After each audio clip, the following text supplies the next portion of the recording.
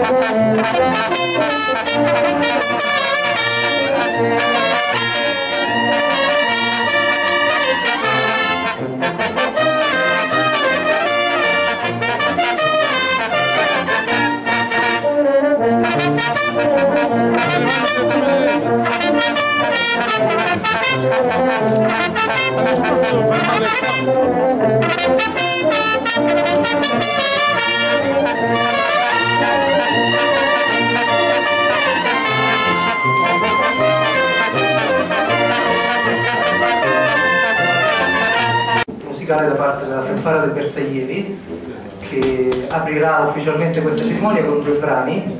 La fanfara è diretta dal capofara Eugenio Centopanti. Grazie. Avanti,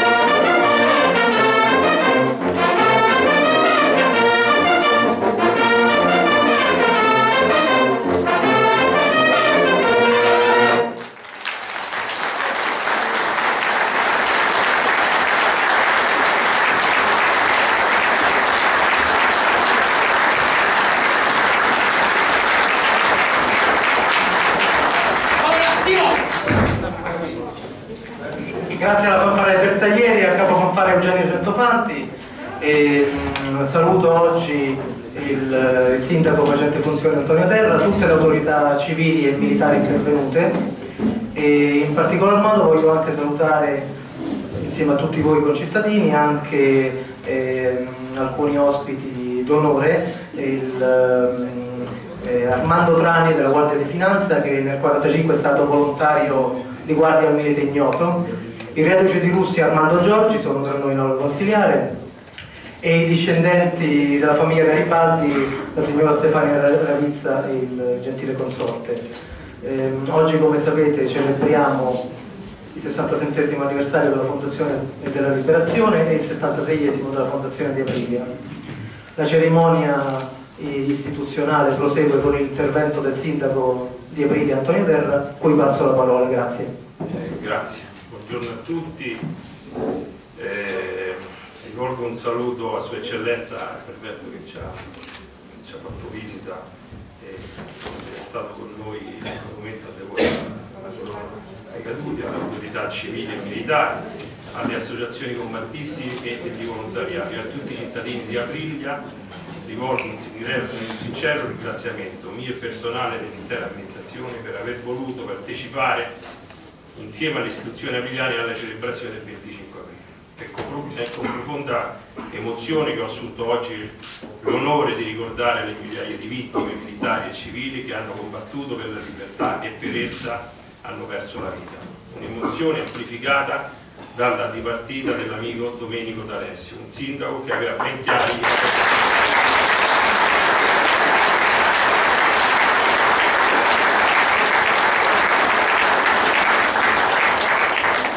Oggi che ho assunto le funzioni di sindaco confermo l'impegno dell'intera amministrazione per il rispetto della memoria storica e dei caduti della liberazione. Nonostante siano trascorsi 67 anni, le immagini degli orrori del conflitto mondiale rimangono nitide e vive nel ricordo di tutti noi. La nostra comunità non può non dimenticare perché questo territorio è stato teatro della più aspra battaglia. Qui si fronteggiarono gli eserciti di tre lingue diverse e a centinaia qui persero la vita lasciando solo macerie, morte e desolazione. Per questo la città di Aprilia è stata inserita nel circuito delle celebrazioni per l'anniversario dello sbarco di Anzio. La nostra terra ancora porta i segni tangibili di ciò che è stato e eh, quasi quotidiano il rinvenimento di reperti bellici sul nostro territorio, mentre frequente è l'attenzione dei media internazionali e soprattutto la visita di reduci e parenti di chi ha combattuto in questa terra e non ha mai fatto ritorno a casa.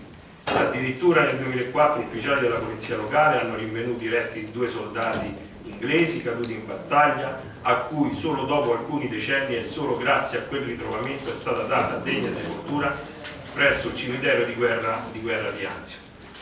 Nel corso della passata estate una truppa televisiva della BBC ha effettuato delle riprese a Campo di Carne, fulcro e luogo sim simbolico della guerra, per la realizzazione di un documento seguita anche da un imponente studio dell'associazione Linea Gustav, insieme alla quale l'amministrazione ha collaborato per promuovere le visite di tre soldati inglesi reduci presso il monumento Il Graffio della Vita realizzato in memoria di tutti i caduti.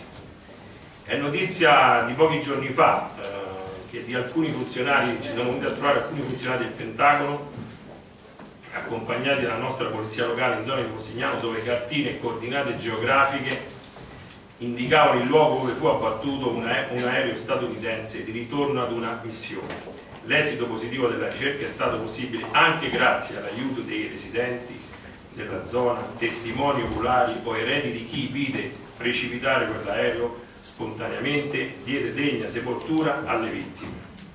Per questo motivo invito i giovani a coltivare la memoria, ad ascoltare i nostri padri e i nostri nonni, testimoni di storia eh, di storie profondi, di profonda umanità che tutte insieme rappresentano la storia di Aprilia e dell'Italia tutta intera.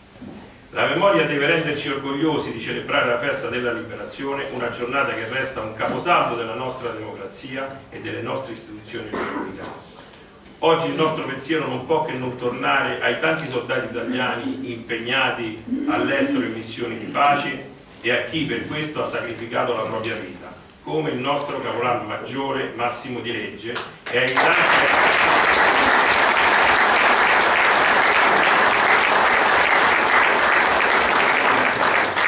e ai tanti ragazzi che hanno condiviso lo stesso destino.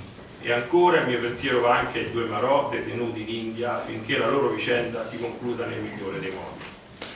Oggi Aviglia celebra anche la sua fondazione, 76 anni fa è, tracciata, è stato tracciato il nostro solco, e fu posta la prima pietra della, della nostra città, nata grazie anche all'imponente lavoro di bonifica delle paludi, pontine e al sacrificio di centinaia di pionieri. E anche a loro che rendo oggi il mio omaggio più sincero, così come testimonio il tributo dell'amministrazione dell'intera cittadinanza avigliana ai reduci che nel dopoguerra scelsero questa terra per vivere e contribuirono con la forza del loro lavoro alla rinascita di questa città distrutta dal conflitto mondiale. A loro va la nostra gratitudine sincera. Qualche giorno fa ci ha lasciato uno di loro, il pioniere Emanuele Carissimi, e da lui rendiamo l'ultimo saluto riconoscente.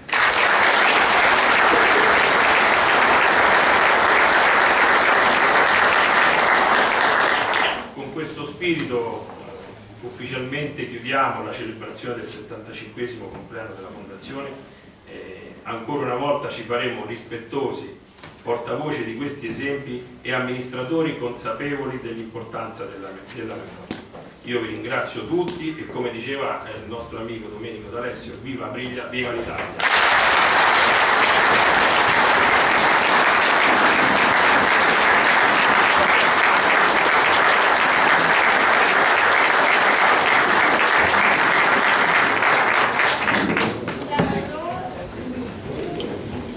Ringraziamo il sindaco facente funzione del comune Aprilia Antonio Terra, ancora una volta voglio ringraziare tutti voi e prima di chiudere con un altro omaggio da parte della fanfare del Bersaglieri voglio invitare gli intervenuti a un piccolo rinfresco all'esterno offerto dall'amministrazione comunale apriliana.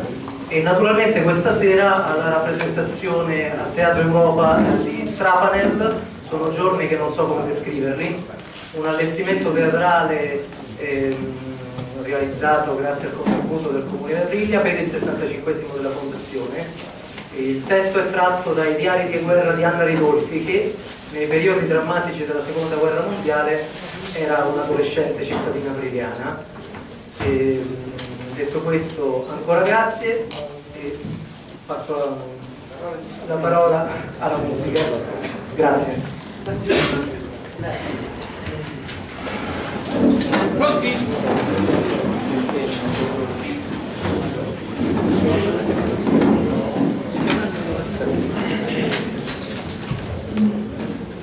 Pronti? Vai!